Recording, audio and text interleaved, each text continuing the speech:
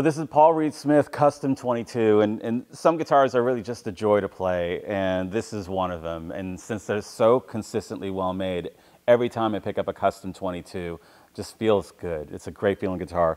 This guitar is loaded with the 8515 humbucking pickups and five-way blade switch, volume, tone, maple cap on a mahogany body with a set mahogany neck. I mean, at 22 frets, this is the guitar that is going to really feel comfortable and have those neck position tones that we know and love.